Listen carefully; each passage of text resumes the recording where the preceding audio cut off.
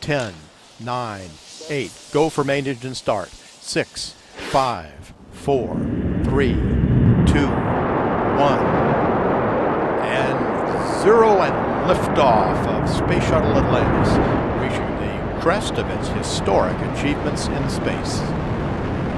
Uh, Houston, Atlantis is in a roll. Roger, roll, Atlantis. Houston is now controlling. The roll maneuver is complete. Atlantis is in a heads down position on course for a 51.6 degree, 136 by 36 statute mile orbit.